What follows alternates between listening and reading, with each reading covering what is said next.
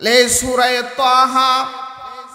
এই সুরার এমন প্রভাব, এমন শক্তি, মুসলিম জাহানের দ্বিতীয় খলিফা ওমর হজরতে ওমরের একটি ঐতিহাসিক ঘটনা আছে। আমরা অনেক সময় শুনেছি, শুনে থাকি, ওলামা হজরতদের জবান থেকে শুনেছি। হজরতে অমর যেদিন মুসলমান হয়েছিলেন, সেদিন এই সুরায় তহার শুরু দিয়ে কয়েকটা আয়াত তেলাওয়াত করে হজরতে অমর ইসলামের প্রতি আসক্ত হয়ে গিয়েছিলেন। আবু জাহেল ঘোষণা করেছে, যদি কেউ মুহাম্মদকে হত্যা করতে পারে, তাহলে তাকে একশত লাল ওট পুরস্কার দেওয়া হবে। হজরতে ওমর তলোয়ার নিয়া দাঁড়ায় গেছে। আমি আবদুল্লাহর বেটা মুহাম্মদকে হত্যা করব না উজুবিল্লাহ তলোয়ার নিয়ে রওনা হয়ে গেছে, লম্বা ঘটনা। আমি পূর্ণ ঘটনা বলব না। হজরতে ওমর তলোয়ার নিয়ে রওনা হয়ে গেছে। ওমর যাইতেছে রাস্তায় একজন নব মুসলিম আবু নাইমের সাথে সাক্ষাৎ। নব মুসলিম আল্লাহর নবীর আশিক সাহাবী। অমরকে বলতেছে অমর কোথায় যাও? তোমার মেজাজটা তো দেখছি গরম। কোথায় যাও অমর অমর বলে ডিস্টার্ব করো না। বাপ দাদার ধর্মের উপর চুনকালি লাগাইছে। আবদুল্লার বেটা মোহাম্মদ সাল্লাল্লাহু মোহাম্মদ আমাদের দেশের শান্ত পরিবেশকে অশান্ত করে তুলেছে। বাপদাদার ধর্মের ওপর চুনকালি লাগাইছে। মুহাম্মদকে হত্যা করার জন্য যাই ভাই ভাইয়ের মধ্যে দ্বন্দ্ব লাগায় দিছে, সন্তান বাবার মধ্যে দ্বন্দ্ব লাগায় দিছে। মা সন্তানের ভালোবাসার মধ্যে ফাটল সৃষ্টি করেছে। মুহাম্মদ আমাদের শান্ত পরিবেশকে অশান্ত করে ফেলেছে। আসলে কি তাই নাকি? মোহাম্মদ তো এসেছেন অশান্তিকে দূর করে শান্তি প্রতিষ্ঠার জন্য, ঠিক কিনা বলেন?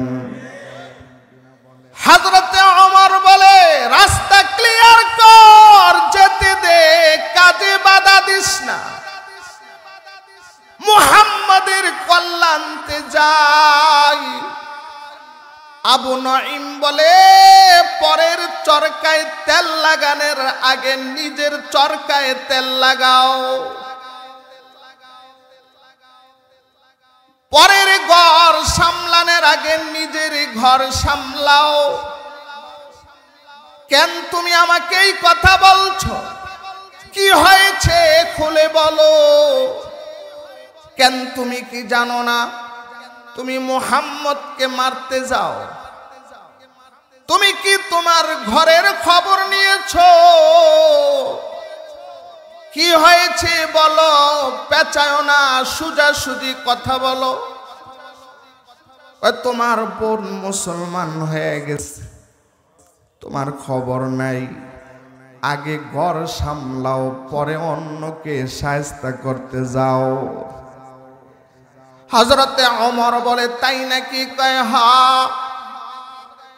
ছুটছে গতি পরিবর্তন করে ফেলেছে। ওমর এখন তার বোনের বাড়ির দিকে ছুটেছে। হজরতে খুবাইব হজরতে খুবাইব তখন কুরআনুল করিম শিক্ষা দিতেছিলেন। হজরতে অমর চলে গেছে বোনের বাড়ি অমর আসতেছে এই সংবাদ পেয়ে। অমর আসার উপস্থিতি টের পেয়ে সাহাবি আড়ালে পালায় গেলেন। অমরের বগ্নিপতিও পালায় গেলেন। অমরের বোন দরজা খুলেছে। অমর ঘরের ভিতরে ঢুকি বোনকে বলতেছে, তুই নাকি বেদিন হয়ে গেছস? বেদিন হইছে না, মুসলমান হইছে। এটা ওদের পরিভাষা। বলে, তুমি বেদিন হয়ে গেছ? না, এতদিন বেদিন ছিলাম, এখন আমি মুসলমান হয়ে গেছি। হজরতে অমর দেরি করে নাই, সাথে সাথে বোনকে কষায়া মারলেন থাপ্পড়। বন অমরের থাপ্পড় খাইয়া গোড়ায়া পড়ে গেছে। অমর কি জানতেন মানুষ নাকি? হ্যাঁ? অমর তো ছিলেন বীর বাহাদুর। যে অমরকে দেখলে শয়তান রাস্তা পরিবর্তন করে ফেলত। दुनिया की अदालत में तेरा नाम रहेगा। दुनिया की सदाकत में तेरा नाम रहेगा। सिद्दीक तेरा नाम से इस्लाम रहेगा। दुनिया की अदालत में तेरा नाम रहेगा। फारूक तेरा नाम से इस्लाम रहेगा হজরতে ওমরের থাপ্পর খেয়ে ওমরের বোন ঘুরে পড়ে গেছে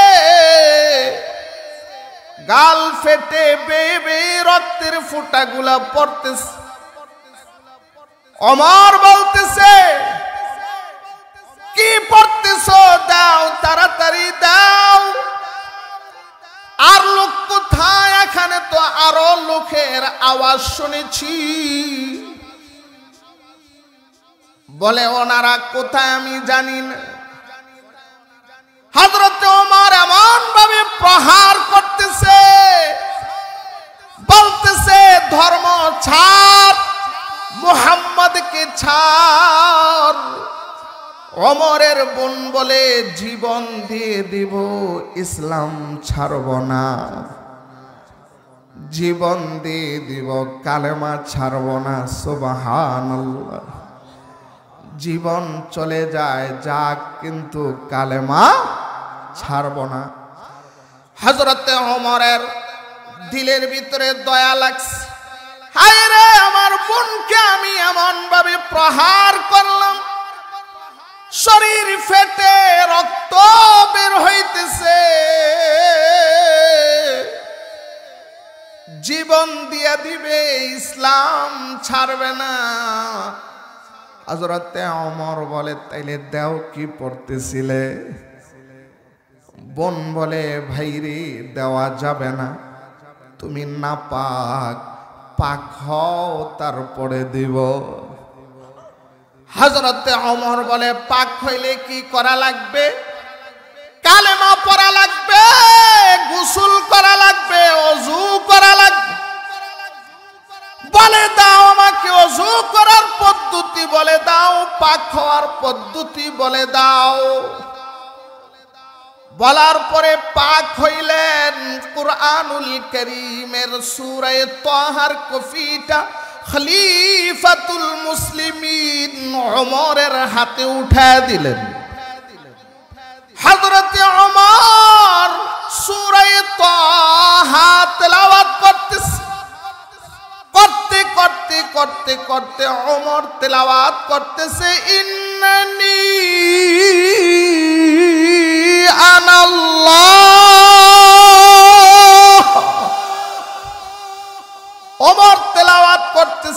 আমার মাওলা আমার আল্লাহ বলে ইন্নানি আনাল্লাহ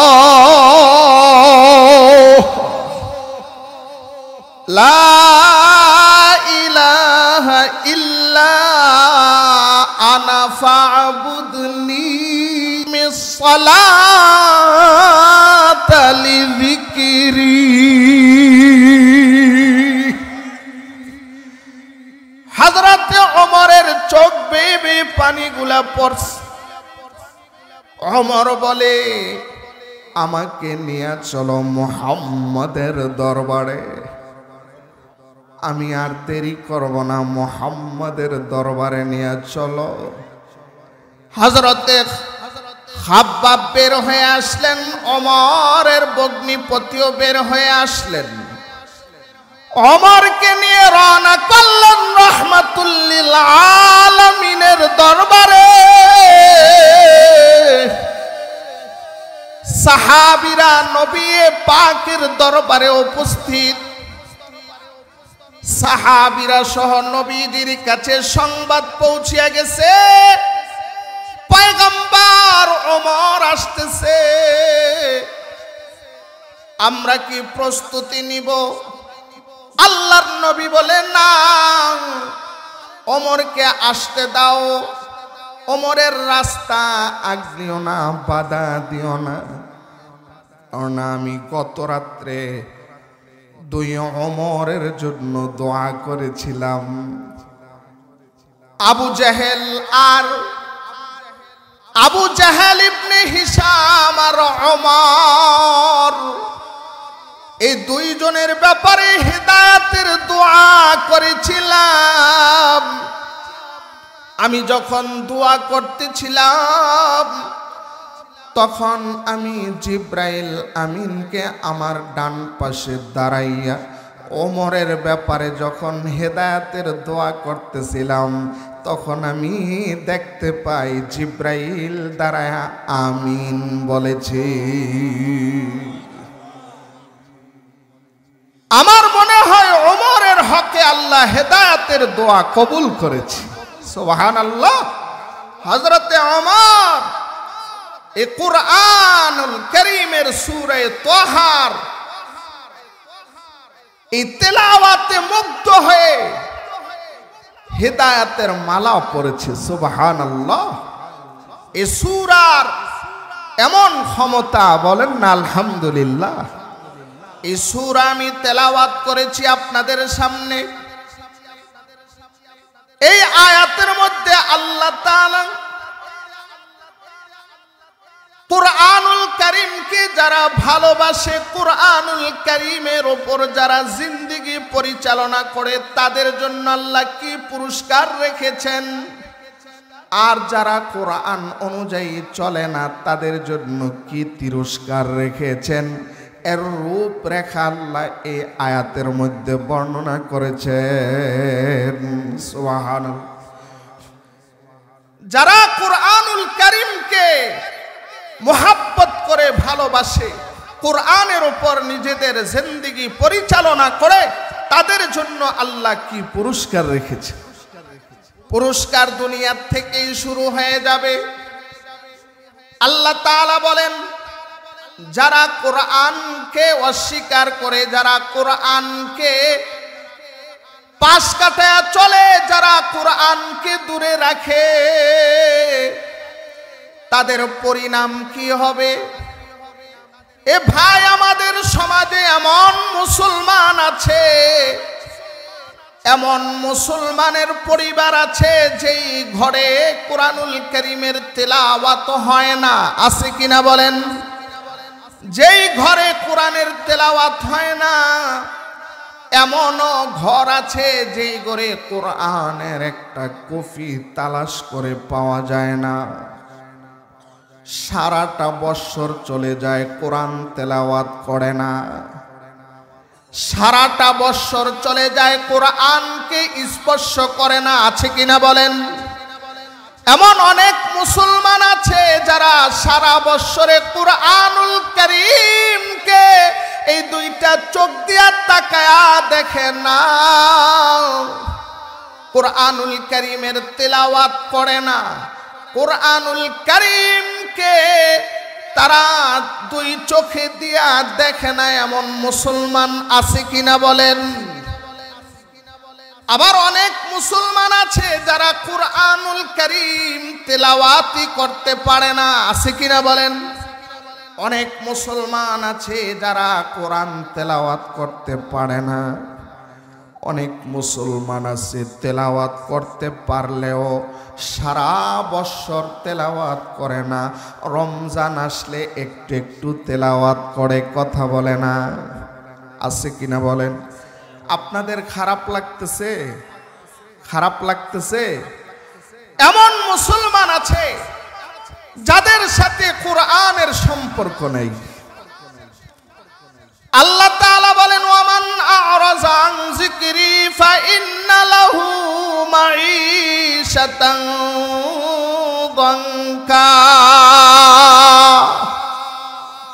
ওই যারা কোরআনকে পাশ কাটে, চলবে যারা কোরআনকে অস্বীকার করবে, যারা কোরআনকে দূরে রাখবে, আল্লাহ তাআলা বলে, আমি তাদের দুনিয়ার হায়াতটাকে সংকীর্ণ করে দিব। দুনিয়ার হায়াতে আমি আল্লাহ তাদেরকে রিজিক কমায়া দেব। আমি আল্লাহ তাদের দুনিয়ার জীবনের অশান্তি নামায়া দেব। দুনিয়ার হায়াতের শান্তি আমি আল্লাহ নষ্ট করে দিব।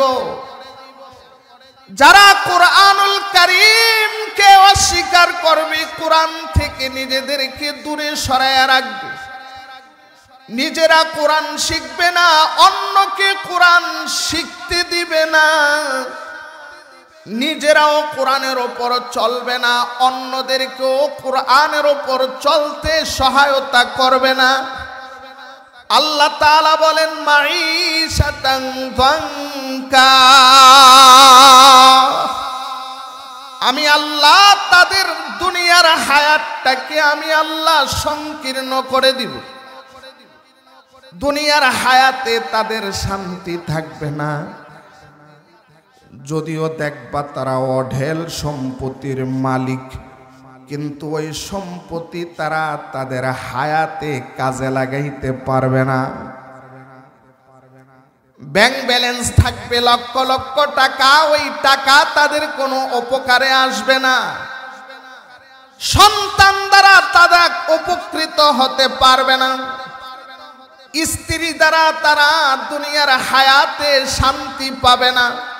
প্রতিবেশীর দ্বারা শান্তি পাবে না। বন্ধু বান্ধব দ্বারা তারা শান্তি পাবে না। কথা বলেন। ওমান আরাজান যিকরি ফা ইন্না লাহু মাঈশাতান দাঙ্কা। ওয়া নাহশুরুহু ইয়াওমাল কিয়ামাতি আ'মা। আল্লাহ তাআলা বলে, তারা কোরআন থেকে নিজেদেরকে দূরে সরানোর কারণে আমি আল্লাহ তাদের দুনিয়ার হায়াতের শান্তিকে নষ্ট করে দিব। দুনিয়ার জীবনে তারা উন্নতি সাধন করতে পারবে না। দরবে স্বর্ণ হয়ে যাবে ছাই।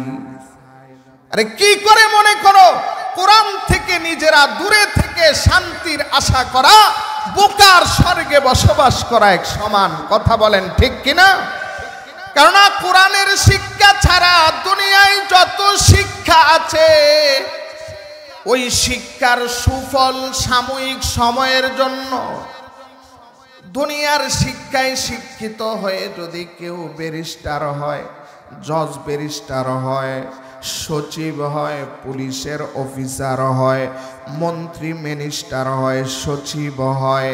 তাহলে ওই সচিব আর পুলিশ অফিসার বলেন আর বিচারপতি বলেন, যত স্যার আর অফিসার বলেন, তাদের ওই শিক্ষার উপকারিতা সামান্য একটা সময়ের জন্য। কথা বলেন, একটা নির্দিষ্ট সময়ের জন্য নির্দিষ্ট সময় যখন শেষ হয়ে যায়, অফিসারের অফিসারগিরি শেষ হয়ে যায়, পুলিশের পুলিশগিরি শেষ হয়ে যায়, ডিসির ডিসিগিরি শেষ হয়ে যায়, ঠিক কিনা বলেন? মন্ত্রীর মন্ত্রীগিরি শেষ হয়ে যায়, এমপির এমপিগিরি শেষ হয়ে যায়। একটা না একটা সময় ওই ব্যক্তির ওই শিক্ষার যেই গুরুত্ব, এটা নষ্ট হয়ে যায়। সরকারি চাকরি করলে অফিস থেকে নির্দিষ্ট মেয়াদের পরে রিটাইরে পাঠায় দেয়।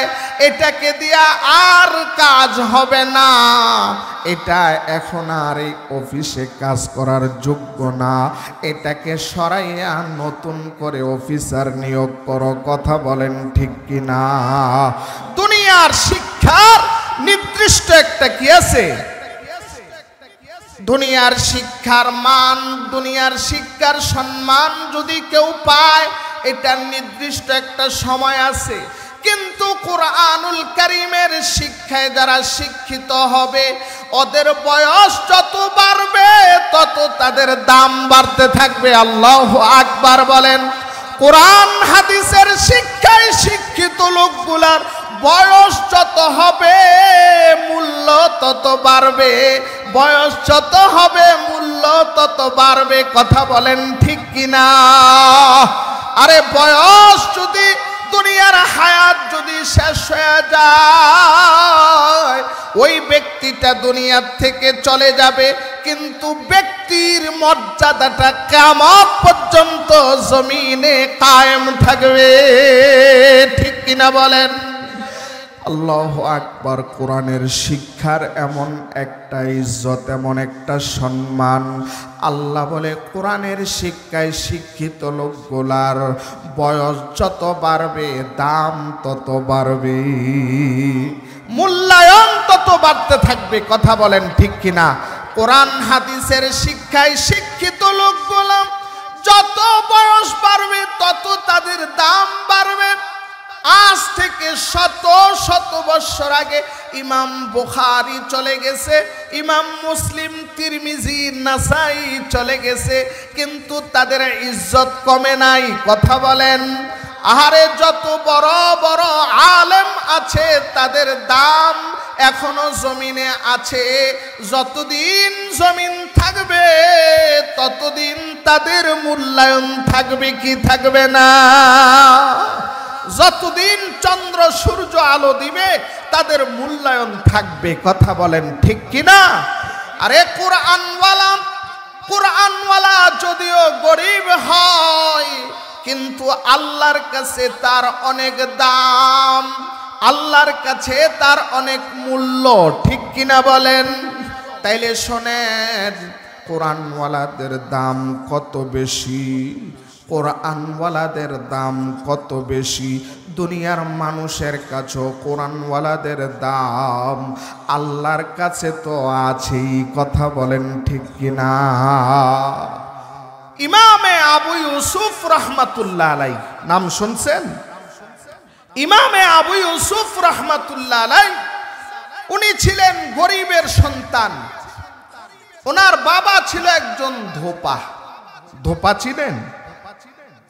যারা কাপড় ধোয় কাপড় ধোয়, বর্তমান এদেরকে লন্ড্রিওয়ালা বলে, ঠিক কিনা বলেন? ইমাম আবু ইউসুফ রহমাতুল্লাহ আলার বাবা ছিলেন ধোপা, গরিবের সন্তান। ইমাম আবু ইউসুফ রহমাতুল্লাহ আলার বাবা এন্তেকাল করেছে এমন গরিব। বাবা এন্তেকাল করেছে, ঘরে খাবার নাই। মা বলে, বাবা ইউসুফ যাও, বাজারে যাও, বাজারে গিয়া সারাদিন কাজ করবা, শ্রমিকের কাজ করবা, শ্রম দিবা, সারাদিন পরে যেই পারিশ্রমিক পাইবা, ওই পারিশ্রমিক দিয়া বাজার থেকে কিছু কিনে আনবা, খাবার আনবা, তুমি আনার পরে আমরা সকলে রান্না করে খাব। ইমাম আবু ইউসুফ রহমাতুল্লাহ আলাই মায়ের কথা শুনে বাজারে চলে গেছে। সোবাহান আল্লাহ বলেন, বাজারে চলে গেছে।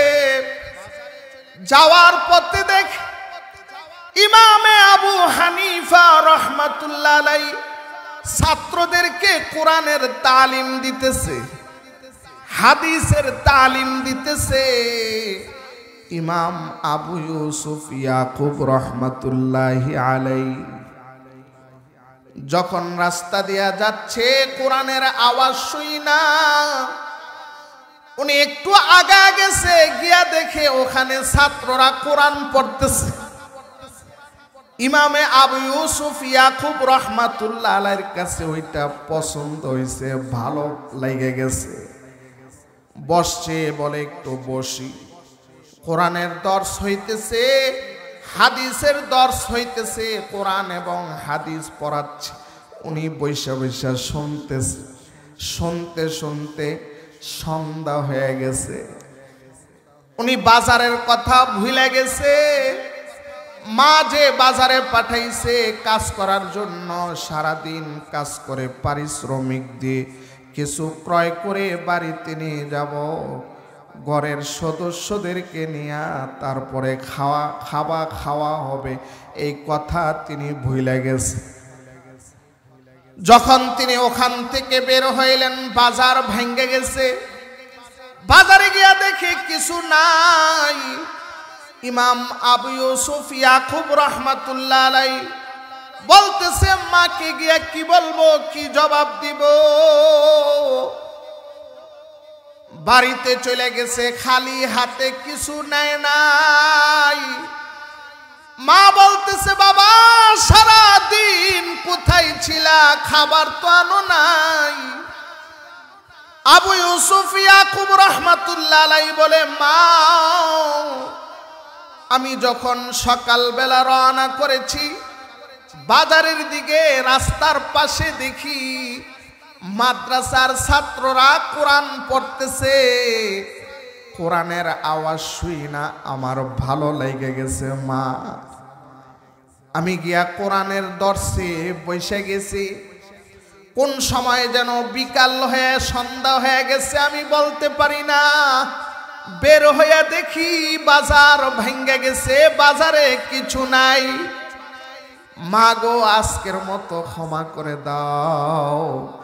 কালকে আবার আমি কাজে যাব, কাজ করব, যা পাই তা দিয়া খাবার আনব সোবাহান ইমাম আবু ইউসুফ ইয়াকুব রহমাতুল্লাহর মা মাইনা নিছে, ঠিক আছে বাবা। পরের দিন আবার তিনি রওনা করছেন। একই রাস্তা ধরে যাইতেছে, দেখে ছাত্ররা পড়তেছে। ওই দিনও তিনি গিয়া কোরআনের দর্শে বসে গেছে। সারাটা দিন চলে গেছে, সন্ধ্যা হয়ে গেছে, বাজার ভেঙে গেছে। ওই দিনও খালি হাতে বাড়িতে চলে গেছে, মা, আজকেও আমি কোরআনের দর্শে বসছি, সময় চলে গেছে, মা। আজকেও খাবার আনতে পারি নাই। ইমাম আবু ইউসুফ ইয়াকুব রহমাতুল্লাহর মা বলে, বাবা, ঠিক আছে আগামী কালকে আইনো। পরের দিন একই অবস্থা, চতুর্থ দিন পাঠাইস, চতুর্থ দিনও একই অবস্থা, খাবার আনতে পারে নাই।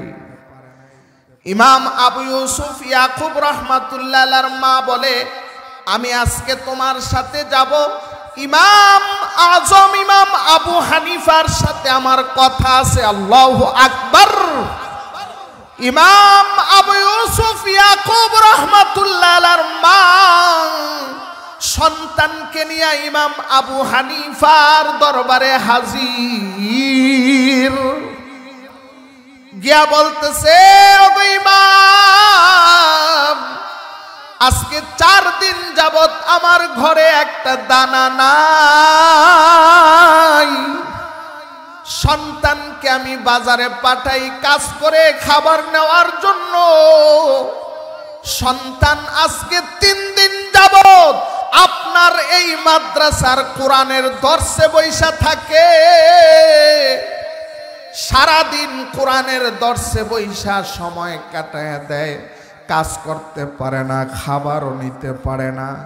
আমরা তো গরিব মানুষ, কাজ করলে খাবার ঝুটে, কাজ না করলে খাবার ঝুটে না। আপনি আগামীকাল থেকে আমার সন্তানকে আপনার এই কোরআনের দর্শে বসতে দিবেন না উঠায় দিবেন। ইমামে আজম আবু হানিফা রহমাতুল্লাহ বলে ওগো ইমাম আবু ইউসুফের মা, পৃথিবীর কোন মানুষের এই অধিকার নাই। একটা মানুষকে কোরআনের দর্শ থেকে উঠে দেওয়ার। সুতরাং আপনার ছেলে যদি আমার কোরআনের দর্শে আসে, এই দর্শ থেকে উঠায়া দেওয়ার ক্ষমতা আমার নাই। সুবহানাল্লাহ। ইমাম আবু ইউসুফ ইয়াকুব রাহমাতুল্লাহ মা পরের দিন সন্তানকে পাঠাইছে বাজারে। সন্তান রওনা করে বাজারে যায় নাই। কোরআনের দর্শে বৈশা গেছে, আল্লাহ আকবার। কোরআনের দর্শে বৈশা গেছি, সারাদিন পরে চলে গেছে। এবার ইমাম আবু ইউসুফ ইয়াকুব রহমাতুল্লাহ আম্মা ইমাম আবু ইউসুফ ইয়াকুবকে মাদ্রাসায় ভর্তি করাইয়া দিছে। ইয়াকুব, ইউসুফ ইয়াকুবের আম্মা আবু হানিফার কাছে গেছে। ইমামে আজম আবু হানিফা বলে অগ ইমাম আবু ইউসুফের আম্মা আপনি বলেছেন আপনার সন্তান গরিব। আমি দেখি আপনার সন্তান সোনার পাত্রে স্বর্ণের চামচ দিয়া আপনার সন্তান স্বর্ণের পাত্রে স্বর্ণের চামচ দিয়া হালুয়া খা আপনি বলতেছেন গরিব ইমাম আবু ইউসুফ রহমাতুল্লাহ আম্মা মনে করছে, সন্তান মনে হয় অন্য জায়গায় খাবার খায়। ওনাদের তো অন্তরের চক্ষু খোলা, কথা বলেন। উনি দেখতেছে ইমাম আবু ইউসুফ ইয়াকুব রহমাতুল্লাহ ভবিষ্যতে অনেক বড় হবেন। ওই কথাটাই উনি উনার মাকে লক্ষ্য করে বলেছে। আপনি বলেছেন আপনার সন্তান গরিব আমি দেখি আপনার সন্তান সোনার চামচে স্বর্ণের পাত্রে হালুয়া খায়। সুবহানাল্লাহ। ইমাম আবু ইউসুফ ইয়াকুব রহমাতুল্লাহ আলাই অনেক বড় মাপের একজন ইমাম হইলেন। বাদশাহ হারুনুর রশিদ। নাম শুনছেন? বাদশাহ হারুনুর রশিদ। ওনার রাজত্বকাল উনি রাষ্ট্রনায়ক বাদশাহ রশিদের স্ত্রীর নাম ছিল জুবায়েদা। কি নাম? জোবায়দা। জোবায়দা ছিল একজন নাক্কারিনী মহিলা। এমন নাক্কার যে নাকি বাহালুলের কাছ থেকে এক টাকা দিয়ে জান্নাত ক্রয় করেছিলেন। বলেন। বাহালুল একদিন মাটির মধ্যে বসে বসে বালু দিয়া গড় বানায়। জুবাইদা বলে বাহলুল পাগল, মাটিতে বসে কি করছ? মাটিতে বসে আমি ঘর বানাইতেছি।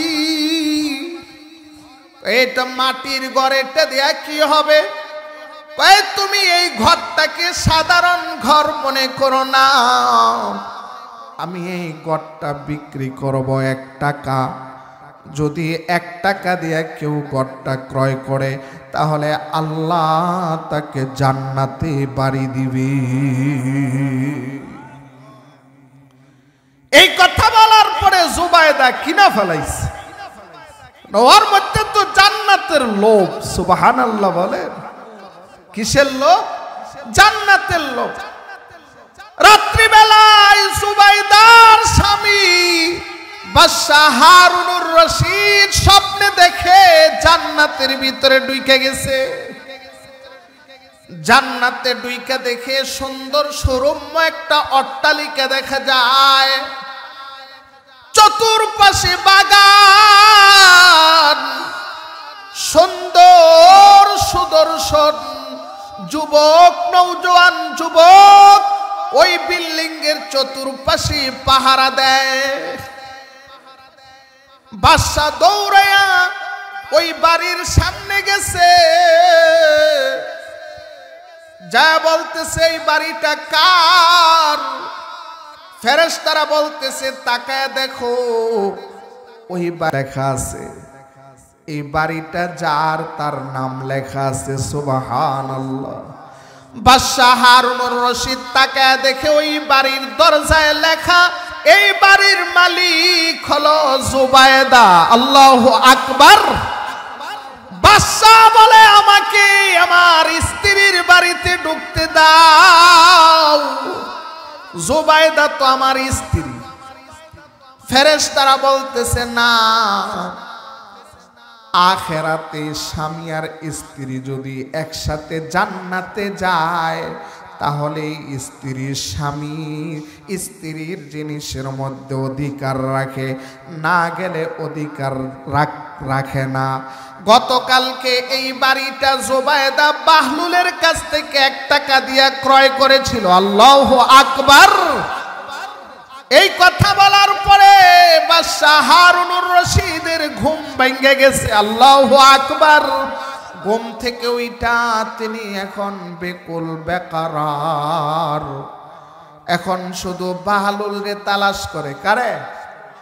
হ্যাঁ বাহালুল রে তালাশ করে। এর আগে কিন্তু তাকেও বলছিল কিনবানি এক টাকা দিয়ে কিনলে জান্নাত পাইবান বাদশাহ হারুনুর রশিদ কয়, তোমার মতো পাগলের কাছ থেকে আমি মাটির ঘর কিনি। জুবাইদা তো কিনছে, লাভবান হয়ে গেছে। বাদশা কিনে নাই, স্বপ্নে দেখা পাগল হয়ে গেছে। বাহালুলকে পাগলের মতো তালাশ করে। তালাশ করতে করতে করতে করতে এক সময় গিয়া দেখে বাহলুল আগের নেয় মাটির মধ্যে বালু দিয়া ঘর বানায়। বাদশা গিয়া কয়রে বাহলুল এই ঘর বিক্রি করবানি? কয়, না। কয় বেসো না। কয় না। কয় কত দিব এক পর্যায়ে কয়, বিক্রি করব, দাম কত? কয়, তোমার রাজত্বের পুরাটা দিলেও আজকে আমি এই ঘর দিব না। কালকে তো এক টাকাই বেচছ। কয় হ্যাঁ কালকে তো এটার কিমত জানো নাই? আজকে কিমত জেনেছ? এই জন্য আজকে তোমাকে রাজত্ব দিলেও দিব না। আজকে মুসলমান কোরআনের কিমত বুঝে না? এই জন্য কোরআন থেকে দূরে যেদিন কোরআনের কিমত বুঝবে, এই উম্মতের চোখের পানি শেষ হয়ে যাবে। রক্ত আসা শুরু হবে। কথা বলেন ঠিক কিনা? তখন এই উম্মত আফসুস করতে থাকবে। কথা বলেন ঠিক কিনা? বাদশাহ হারুনুর রশিদের স্ত্রী জুবাইদা। ওনার রাজত্বটা ছিল বিশাল। স্ত্রীকে অনেক মোহাব্বত করত, ভালোবাসত। একদিন রাত্রিবেলা স্ত্রীর সাথে কি নিয়ে যেন দ্বন্দ্ব হয়ে গেল। স্ত্রী ও স্বামীর মুখের উপর কথা বলে দিয়েছে। স্বামী আবার রাগ হয়ে গেছে। স্বামী রাগ হইয়া স্ত্রীকে বলতেছে, তুমি এত বড় কথা আমার মুখের ওপর, আমার খাইয়া আমার পইরা আমার মুখের ওপর কথা। এত বড় সাহস তোমাকে কে দিয়েছি? যাও, আমি তোমাকে এক তালাক, দুই তালাক, তিন তালাক দিয়া দিলাম। তুমি যদি সকাল হওয়ার আগে আগে আমার রাজত্ব থেকে বের হইতে না পারো, তাহলে তুমি তিন তালাকের মালিক হয়ে যাইবা। বিশাল বড় রাজত্বের এরিয়া। তুমি যদি সকাল হওয়ার আগে আগে, সূর্য উঠার আগে আগে আমার রাজত্ব থেকে তুমি যদি বের হইতে না পারো, তাহলে তুমি তালাক। যদি সূর্য উদয়ের আগে আমার রাজত্ব থেকে বের হইতে পারো, তাইলে তালাক পদিত হবে না। ঠিক কিনা? তো সূর্য উদয়ের আগে আগে আমার রাজ, আমার রাজত্বের সীমানা থেকে বের হইতে না পারলে তুমি তালাক। রাগের মাথায় বলছে বত বলছে, কিন্তু পরবর্তীতে ওনার যখন রাগ কমছে, স্ত্রীকে তো অনেক ভালোবাসে এখন কয়, হায় হায়, কি করলাম? এত মহাব্বতের স্ত্রীকে তালাক দিয়া দিলাম। তোমার স্বামী আর স্ত্রী বলে কথা কথা কয় না। স্বামী আর স্ত্রী বলে কথা। মাথা এবার খারাপ। হায় রে, প্রাণের প্রাণের স্ত্রীকে তালাক দিয়া দিল আমার রাজত্বের সীমানা রাত্র শেষ হওয়ার আগে, সূর্য উঠার আগে পার হইতে পারবে না, তাইলে তো তালাক হয়ে যাবে। রাষ্ট্রের সমস্ত আলেমদেরকে তিনি রাজ দরবারে ডাকলেন। ডাইকা বলতেছে, ও আলেম সাহেবরা, ফতুয়া দেন। আমি তো আমার বিবিকে কথা বইলা ফালাইছি, এখন কি করা যায়? সমস্ত ওলামাই কেরাম বললেন বাসাও রাত্র শেষ হওয়ার আগে আপনার স্ত্রী আপনার রাজত্বের সীমানা অতিক্রম করতে পারবে না। সুতরাং আপনার বিবি নিশ্চিত তালাক হয়ে যাবে। এখন কি করা যায়? সমস্ত আলেমরা বলে, আমরা তো কিছু জানি না, কিছু বুঝি না। আপনি একটা কাজ করেন। ইউসুফ ইয়াকুবকে আপনি একটু ডাকেন, সে কোনো সমাধান দিতে পারে কি না ইমাম ইউসুফ ইয়াকুব রহমাতুল্লাহ আলাইকে ডাকেন সে কোনো সমাধান দিতে পারে কিনা দেখেন। বাদশার সাথে সাথে বাদশার লোক পাঠা দিছে। ইউসুফ ইয়াকুব রহমাতুল্লাহ আলাইকে রাজ দরবারে আনা হলো। বাদশাহ ওনার সাথে সরাসরি কথা বললেন। বাদশাহ বলতেছে, ওগো ইয়াস ইউসুফ, আমি তো আমার বিবিকেই কথা বইলা ফেলাইছি। এখন কি করা যায়? আমার বিবি কি তালাক হবে? ইয়াকুব রহমাতুল্লাহ আলাই বলে, নিশ্চিত আপনার বিবি তালাক হয়ে যাবে। কয়, এটা তো অন্য অন্য আলেমরাও বলেছে। আপনাকে দেখেছি অন্য কোনো একটা পন্থা আছে, যেই পন্থায় আমার বিবি তালাক হবে না। ইউসুফ ইয়াকুব রহমাতুল্লাহ আলাই বলে বাচ্চা টেনশন করেন না।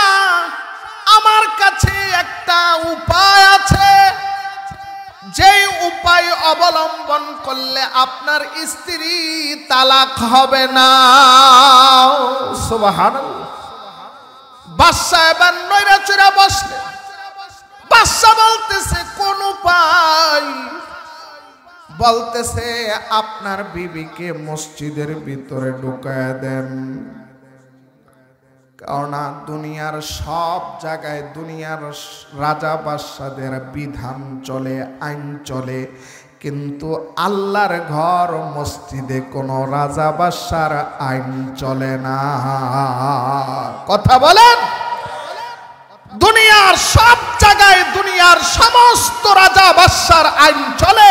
আল্লাহর ঘরে কোনো বাদশার রাজত্ব চলে না। কথা বলেন ঠিক কিনা? উনি বলেছে, সূর্য উঠার আগে যদি আমার স্ত্রী, তুমি যদি আমার রাজ্যের সীমানা অতিক্রম করতে না পারো তালাক, তাহলে আপনার বিবিকে আপনি মসজিদে ঢুকায়া দেন। আন্নাল মসজিদ মসজিদের ভিতরে আল্লাহর রাজত্ব চলে, কারও রাজত্ব চলে না, কথা বলেন। আপনার বিবিকে মসজিদের ভিতরে ঢুকায় দেন। আপনার বিবি যদি মসজিদের ভিতরে ঢুকে সূর্য উঠার পরে মসজিদ থেকে বের হয়, তাহলে আপনার বিবি তালাক হবে না। সুবহানাল্লাহ। এই কথা বলার পরে বাদশাহ খুশি হইলেন। ইমাম আবু ইউসুফ ইয়াকুব রাহমাতুল্লাহ আলাইকে বললেন ইমাম, আমি আপনাকে আজকে তিনটা পুরস্কার দিব, আল্লাহ আকবার বলেন। আজকে আমি আপনাকে তিনটা পুরস্কার দিব। এক নাম্বার পুরস্কার, আমি আপনাকে আমার রাষ্ট্রের কাজিউল কুজাত বানায় দিলাম। আপনি আমার এই রাজ্যের প্রধান বিচারপতি সুবাহান আল্লাহ দুই নম্বরে, আমি আপনাকে দশ হাজার স্বর্ণ মুদ্রা উপহার দিব সুবাহান আল্লাহ একটা স্বর্ণ মুদ্রা প্লাস এক বড়ি স্বর্ণ। এরকম দশ হাজার স্বর্ণ মুদ্রা পুরস্কার দিয়েছে সোবাহান আল্লাহ তিন নম্বরে, আমি আপনাকে একটা পালকি দিব, পালকি। যেই পালকিতে আপনি চলাফেরা করবেন, আল্লাহ আকবার বলেন এটা কিসের বরকতে পেয়েছে বাবা? কোরআনের বরকতে কিসের? কোরআনের বরকতে পেয়েছে কোরআনের বরকত। এই জন্য আল্লাহ তাআলা বলেন, যারা তাদের জীবনকে কোরআনের সাথে লাগাইছে, তারা দামি হয়ে গেছে। ওমান আরাজান যিকরি ফাইন্না লাহু মাঈশাতান দনকা। আর যারা নিজেদেরকে কোরআন থেকে দূরে রাখছে, আল্লাহ তাআলা তাদের জীবনটাকে ছোট বানায়া দিছে। জীবনের অশান্তিকে আল্লাহ তাআলা শেষ করে দিয়েছে। আল্লাহ বলে, কোরআন ছাড়া কোনো মানুষ শান্তির আশা করতে পারে না। রাষ্ট্রেও না, পরিবারেও না, সমাজেও না, কথা বলেন। জমিনে কোরআন ছাড়া শান্তির আশা করা যায়? কিনা বলেন? আরে দুনিয়াতে তো এই শাস্তি আছে।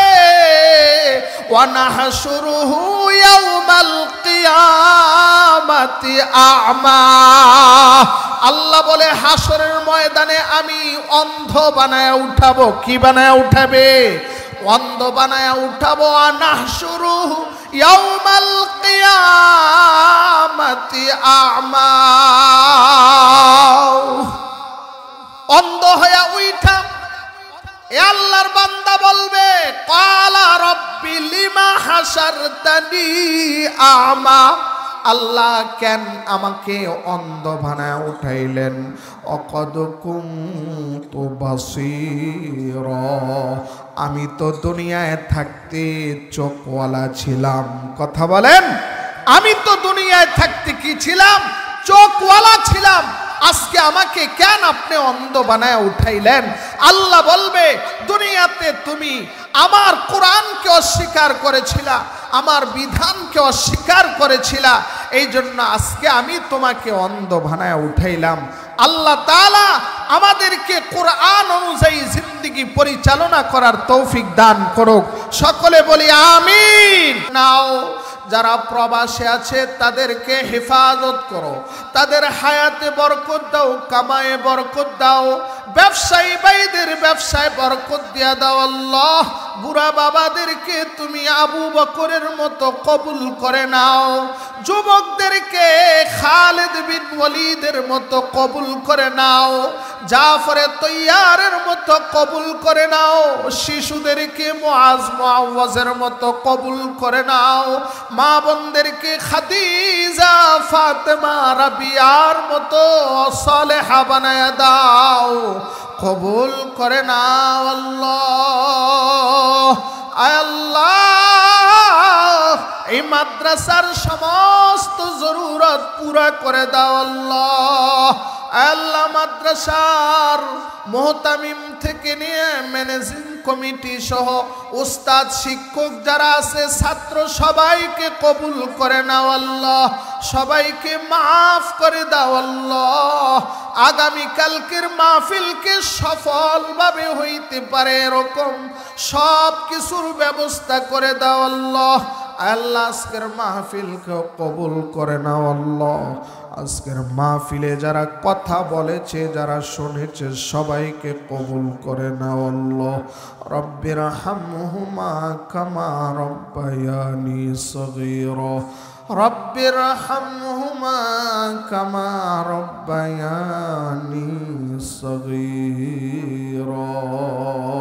سبحان ربك رب العزة عما يصفون وسلام على المرسلين. والحمد لله رب العالمين.